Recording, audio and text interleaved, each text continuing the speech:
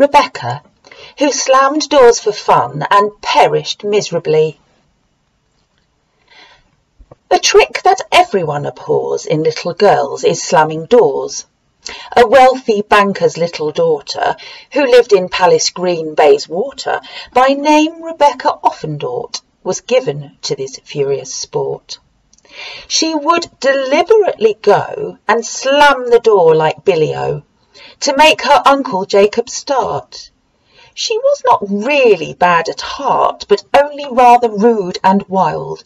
She was an aggravating child. It happened that a marble bust of Abraham was standing just above the door this little lamb had carefully prepared to slam, and down it came. It knocked her flat. It laid her out. She looked like that.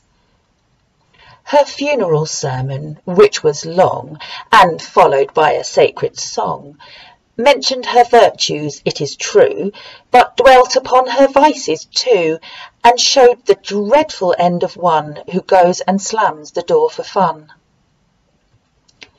The children who were brought to hear the awful tale from far and near were much impressed, and inly swore they never more would slam the door, as often they had done before.